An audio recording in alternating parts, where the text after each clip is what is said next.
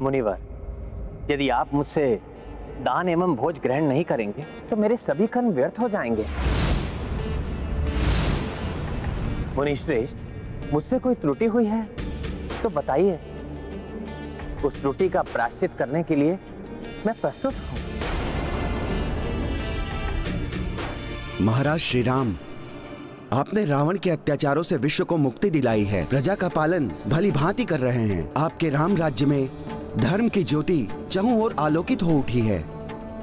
किंतु किंतु क्या मुनिवर? क्षमा करें। आपका वनवास समाप्त हो चुका था। राज्याभिषेक भी संपन्न हो चुका था। तब आपके लिए अनिवार्य था कि आप सर्वप्रथम गया तीर्थ जाकर विधि पूर्वक पिंड दान करके अपने पितरों को संतुष्ट करें। किंतु आपको ये सब स्मरण नहीं रहा। ऐसे में आपके द्वारा प्रदत्त कुछ भी स्वीकार करना मेरे लिए ही नहीं, समस्त ऋषि मुनियों के लिए भी निषिद्ध है।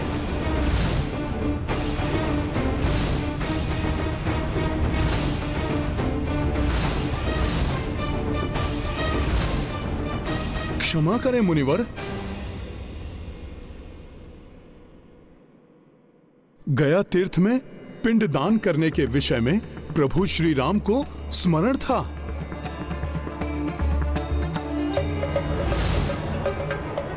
इसीलिए प्रभु ने ब्राह्मण भोज आदि से पूर्व मुझे गया जी जाने के लिए समस्त व्यवस्था करने के लिए आज्ञा भी दी थी। गुरुजी, वहाँ जाने के लिए पुष्पक विमान भी उपस्थित था।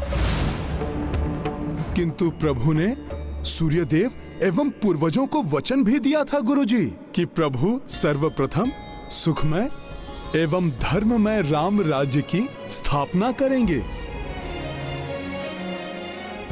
और अब प्रभु आप सब ऋषि मुनियों का आशीर्वाद प्राप्त करके तीर्थ यात्रा पर ही जाने वाले हैं। इस संस्कार के महत्व से भली भांति परिचित हूँ। ये संस्कार तो पूर्वजों का आदर भी है। पूर्वजों के आशीर्वाद से ही वंश फलता फूलता है। एक राजा के रूप में इस कार्य को कर सारी प्रजा का मार्गदर्शन भी करना चाहता हूँ। मुनिवर कोई भी तीर्थ यात्रा आप जैसे तपस्वियों के आशीर्वाद के बिना फलदायी नहीं हो सकती।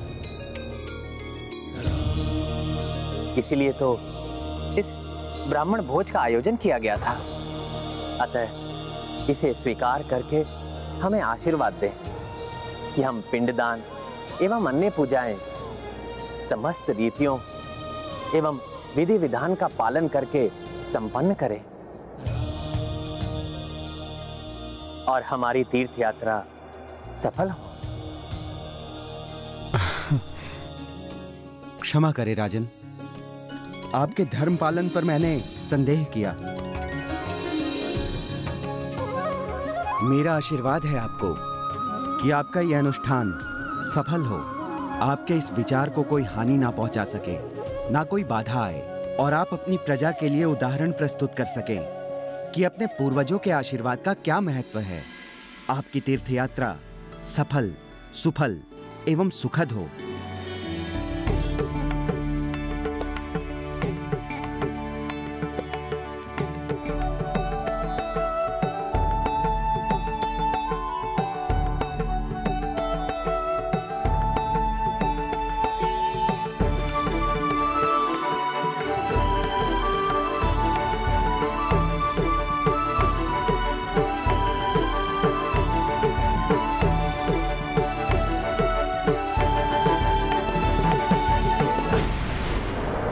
श्रेष्ठ निकुंभ, अयोध्या से समाचार आया है कि अयोध्या का राजा गया जाने की योजना बना रहा है। पिंड दान करेगा वो गया में।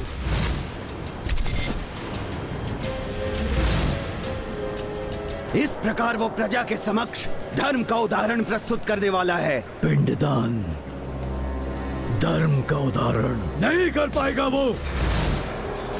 मैं रोकूँगा उसे। और पिंडदान अपूर्ण रह गया। तो पूर्वजों का होगा अनादर। इस प्रकार राम के हाथों अधर्म होगा।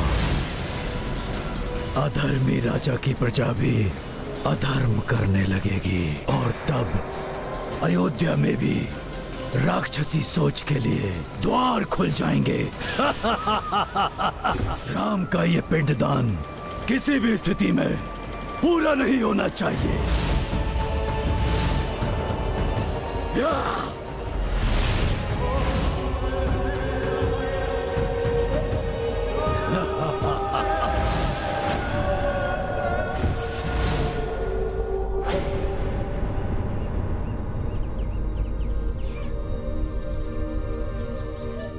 किस सोच विचार में डूबे हो हनुमान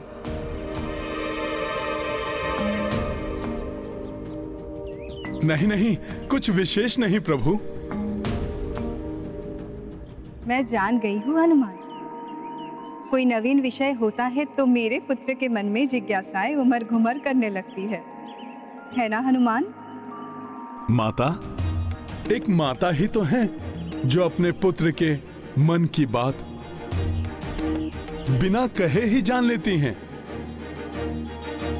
माता मेरा जिज्ञासु मन आश्चर्य में है कि ऐसा गया जी में क्या है कि जो भी वहाँ पिंडदान करते हैं, उनके पितरों को सदगति प्राप्त हो जाती है?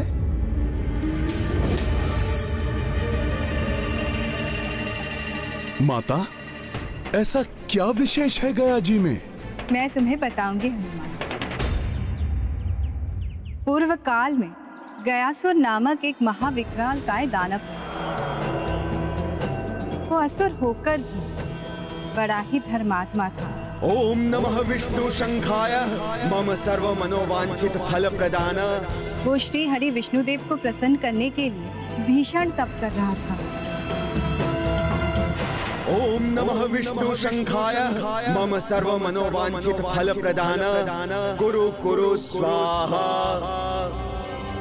शनै शनै उसके तप का तेज इतना बढ़ता गया कि उसके दर्शन मात्र से ही मनुष्य को मोक्ष की प्राप्ति होने लगी। ओम नमः विष्णु शंखाय। मम सर्व मनोवांछित फल प्रदान। कुरु कुरु स्वाहा। ओम नमः विष्णु शंखाय। मम सर्व मनोवांछित फल प्रदान। कुरु कुरु स्वाहा। और फल स्वरूप संसार में एक विचित्र प्रकार से पापाचार बढ़ गया। मनुष्य यत्र तत्र असीम पाप करते थे और गयासुर के दर्शन करके मोक्ष को प्राप्त कर लेते पाप कर्मियों को मोक्ष की प्राप्ति ये अनुचित है। इस प्रकार तो पाप और बढ़ जाएगा। ये कैसी विडंबना है? पापियों को दंड मिलना चाहिए। मोक्ष नहीं। हाँ पुत्र। जैसा सब अनुमान लगा रहे थे वही हुआ। पाप में वृद्धि होने लगी। संसार में दान, पुण्य, यज्ञ आदि कार्य बंद हो गए।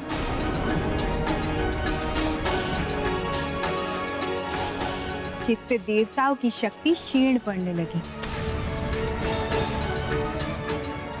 सबको सहजता से मोक्ष की प्राप्ति होने से स्वर्ग लोक तप लोक और ब्रह्मलोक असंतुलित हो गए। तब संसार को असंतुलन से बचाने के लिए स्वयं ब्रह्मदेव को आना पड़ा। ओम नमः विष्णु शंखाय। मम सर्व मनोवांछित फल प्रदान गुरु कुरु स्वाहा।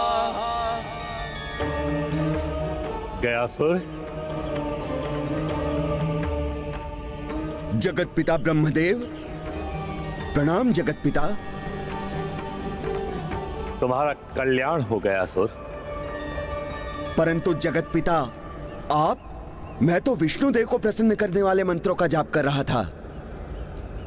और मुझे यह भी ज्ञात है कि तुम मुझसे कोई वरदान भी नहीं मांगोगे। अतः तुम ऐसा करो कि मुझे ही एक वरदान दे दो।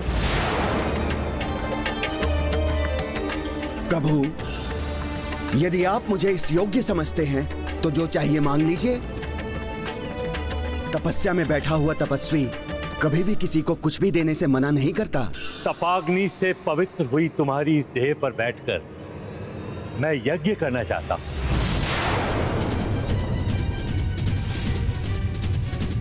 माता सबको वरदान देने वाले ब्रह्मदेव जी स्वयं ही वरदान मांगने लगे। जगत कल्याण के लिए ईश्वर को सब करना पड़ता है पुत्र। गयासुर ने इसे अपना सौभाग्य मानकर ब्रह्मदेव को इसके लिए अनुमति दे वो स्वयं पृथ्वी पर लेट गए और उसकी विशाल काय देह के नीचे पाँच कोष का क्षेत्र आ गया।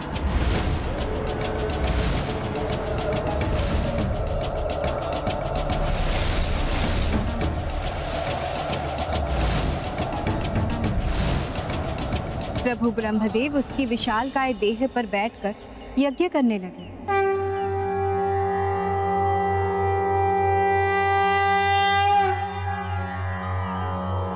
सर्वे भवन्तु सुखिनः, सर्वे सन्तु निरामया, सर्वे भद्राणि पश्यन्तु, मा कश्चित् दुःखभाग् भवेत्। ध्यः शान्तिरन्तरिक्षं शान्ति पृथिवी शान्तिरापः शान्तिरौषधय शान्तिः वनस्पतयः शान्तिर्विश्वे देवाः शान्तिर्ब्रह्मा शान्तिः सर्वं शान्तिः शान्तिरेव शान्तिः सा मा शान्तिरेधि ॐ शान्तिः शान्तिः शान्तिः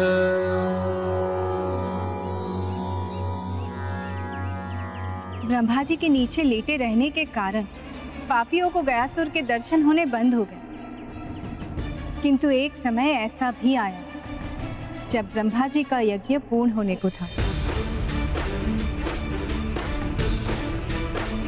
देवताओं को यह भय सताने लगा कि यज्ञ के पश्चात गयासुर पुनः तपस्या करने के लिए बैठ जाएगा। हम्म तब तो पुनः पूर्व के जैसी ही स्थिति हो जाती। सृष्टि पुनः असंतुलित होने लगती। हाँ पुत्र। इसीलिए यज्ञ पूर्ण होते ही गयासुर को उठने से रोकने के लिए सभी देवता उसके विभिन्न अंगों पर खड़े हो गए।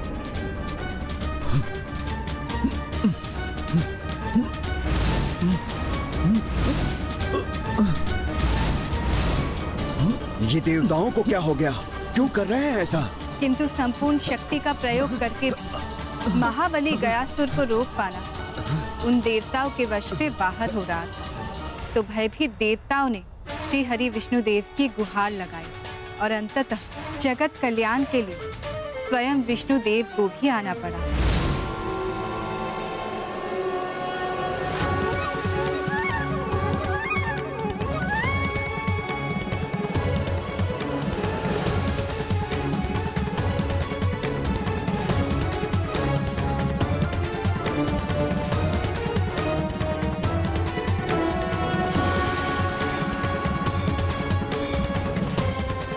प्रभु।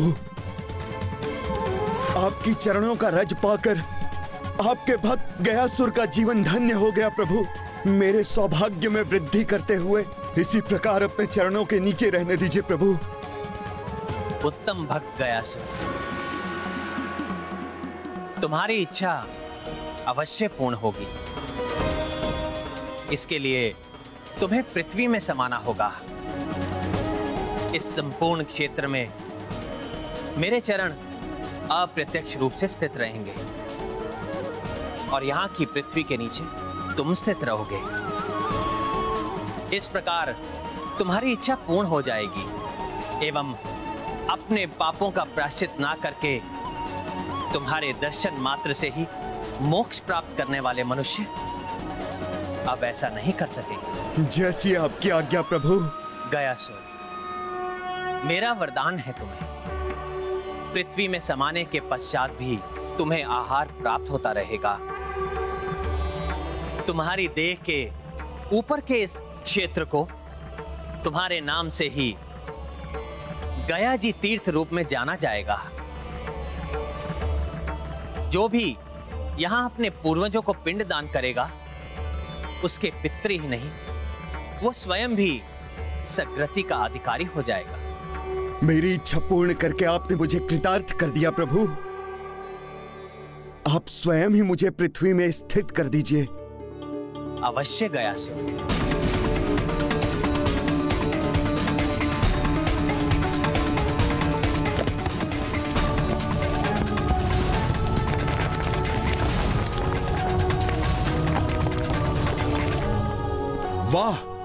तब तो प्रभु विष्णु देव की उस लीला स्थली पर जाना तो अत्यंत सौभाग्य की बात होगी। किंतु हनुमान मार्ग में काशी नगरी भी पड़ती है। पुत्र राम हमें काशी में रुककर गंगा पूजा अवश्य करनी चाहिए। जो आज्ञा गुरुदेव। आप पुष्पक विमान पर आरूढ़ होकर अपना स्थान ग्रहण कीजिए। सर्वप्रथम हम काशी ही जाएँगे।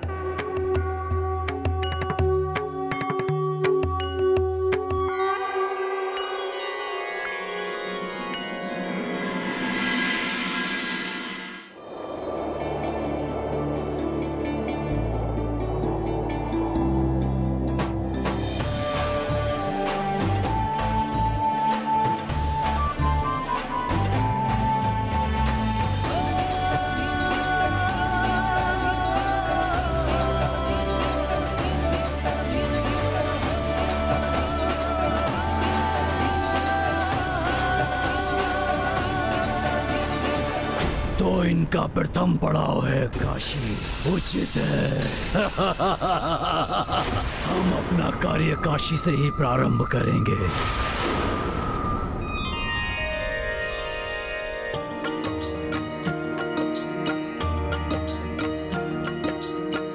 काशी नगरी शिव के द्वारे रामचंद्र सिया संग पधारे।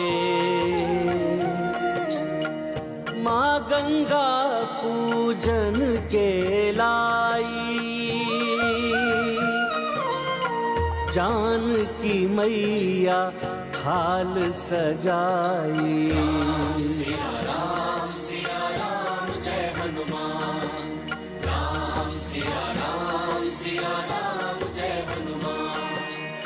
माता मैं भी आपके साथ दीपक बनाता हूँ।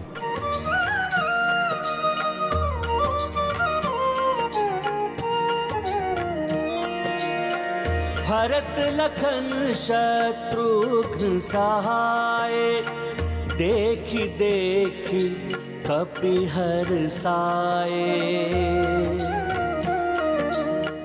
आन पड़े कछु नव व्यवधाना चुस्त सतर्क सजग हनुमाना।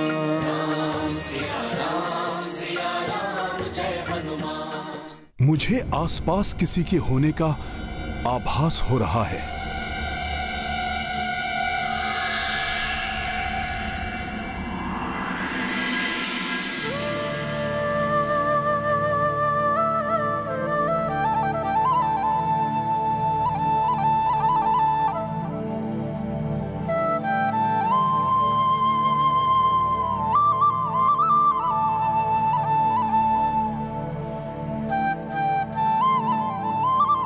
मेरे प्रभु श्री राम का परिवार सब एक साथ गंगा पूजन हेतु आगे बढ़ रहे हैं। कैसा मनोहारी दृश्य है ये।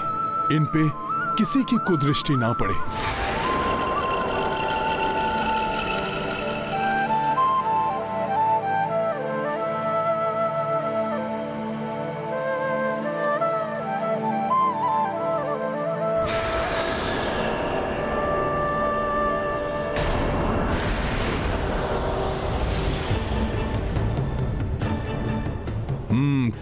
हलचल हो रही है। तो धर्म कार्य में बाधा डालने के लिए अधर्मी भी आ गया है। मेरी पूजा से अधिक महत्वपूर्ण है मेरे प्रभु की पूजा पूर्ण होना।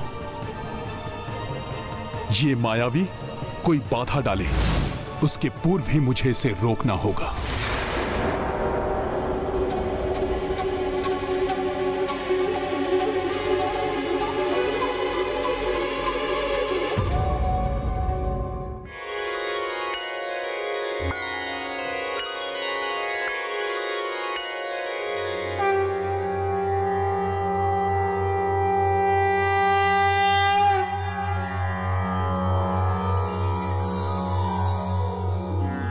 देवी सुरेश्वरि भगवती, गंगे त्रिभुवन तारिणी तरल तरंगे शङ्कर मौलिविहारिणि विमले मम्मतिरास्तां तव पदकमले हरिपदपाधितरङ्गिणि गङ्गे हिमविदुमुक्ता धवलतरङ्गे दूरीकुरु मम दुष्कृतिभारं कुरु कृपया भवसागरपारं तव जलममलं येन निपीतं परमपदं खलु तेन गृहीतं मातर्गङ्गे त्वय्यो भक्तः किल तं द्रष्टुं नायमः शक्तः